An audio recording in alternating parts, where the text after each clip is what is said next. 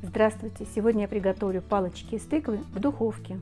Рецепт простой, быстрый, понадобится минимум ингредиентов. Мне понадобится 700 грамм очищенной тыквы. Из половины тыквы я уже приготовила супчик тыквенный, оладьи. Рецепт вы можете посмотреть у меня на канале. Разрезаю на удобные дольки. Таким образом сделаю. Очищаем полностью тыкву. Теперь нарезаем тыкву на брусочки.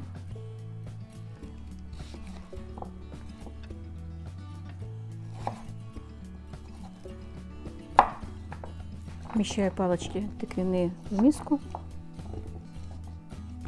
Готовлю панировку. 2 чайные ложки красного сладкого перца.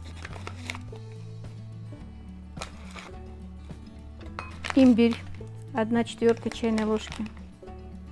Чеснок гранулированный пол чайной ложки. Соль чайная ложка. Перемешиваю наши специи с солью. Засыпаю все это в подготовленную тыкву. Перемешиваю. Перекладываю палочки в пакет. Добавляю 2 столовые ложки крахмала картофельного. Это тщательно стряхну, чтобы крахмал попал на все палочки. Возвращаю все это в нашу миску. Добавляю 2 столовые ложки растительного масла. Перемешиваю.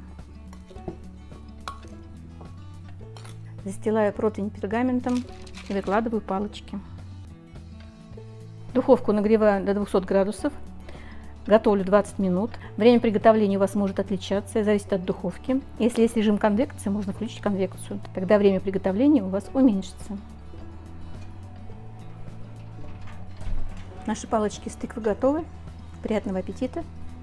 Если вам понравился рецепт, не забудьте подписаться на канал, поставить лайк под этим видео.